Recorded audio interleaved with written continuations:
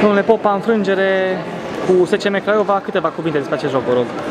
Ce să vă spun? Sunt foarte mâhnit pentru că, din, po- din păcate, mocir la asta handbalistică, pe lângă faptul că avem o echipă modestă și am început prost, că de aici ni se trag toate, uh, mai avem și maniere de arbitraj tendențioase și se vede clar. Deci este imposibil. În istoria handbalului încă nu s-a pomenit ca principala realizatoare a unei echipe să primească în, în minutul 11 4 minute de eliminare.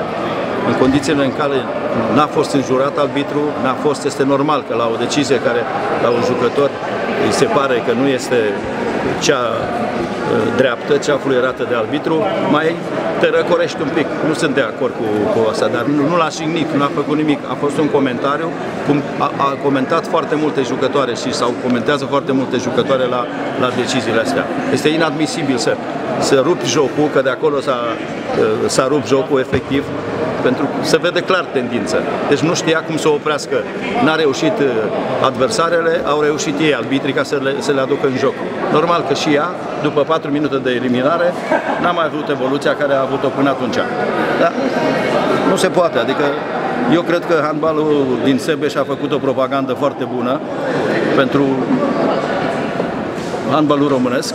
Mai mult decât atât, au fost organizate niște competiții ale federației cu sprijin total sau substanțial din partea, din partea celor din Sebeș și asta e mulțumirea. N-am avut pretenții niciodată să, să vină să țină cu noi un arbitraj, dar nu se poate să vii aici să...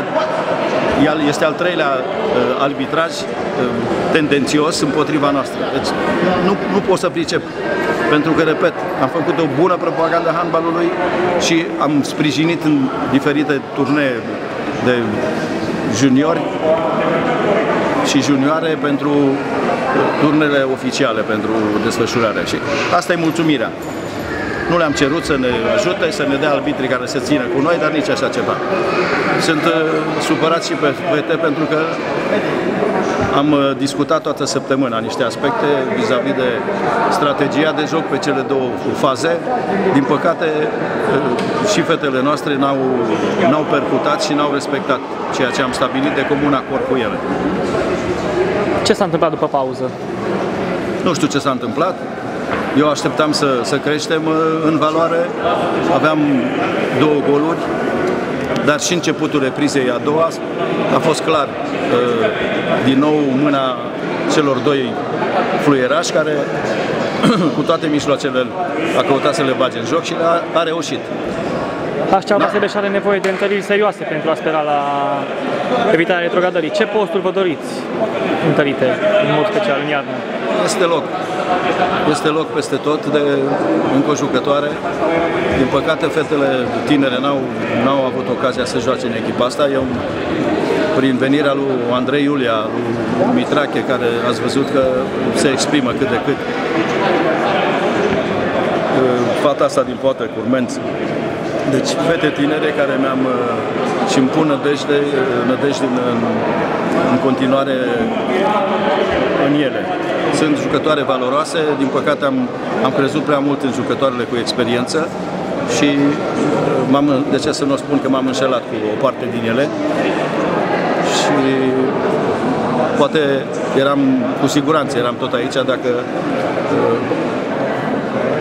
puneam accentul mai mult pe intrarea celor tineri în teren. Repriza a doua, cum, cum, ai, cum ai spus, uh, trebuia a, a, acolo, trebuia să se vadă uh, experiența unor jucătoare și clar viziunea lor ca să putem să păstrăm cel puțin două goluri până la sfârșitul meciului. Da. Ce să, să vă spun? Repet, este o echipă, nu avem o echipă fantastică, să trecem peste unele aspecte de arbitraj, și în momentul când apar alea, foarte greu ieșim uh, din nou pe linia de plutire. Este păcat, pentru că Sebeșul nu merită măgăriile astea care le-au trăit spectatorii. Eu le mulțumesc că au venit un număr destul de mare aici să ne susțină, dar rămân cu regretul că nu, nu putem să-i bucurăm să, să facem o victorie. Din păcate avem patru puncte, o victorie și un egal, știe foarte bine, dar eu cred în continuare în echipa asta, deși este foarte de, enorm de greu, pentru că celelalte, jucă, celelalte echipe din fața noastră încep și acum, acumulează puncte și e greu să le mai prinzi din urmă. Da? Trebuie să ne vedem lungul nasului, trebuie să fim cu picioarele pe pământ, trebuie să sperăm că vom face o echipă competitivă în, în, în Sebeș.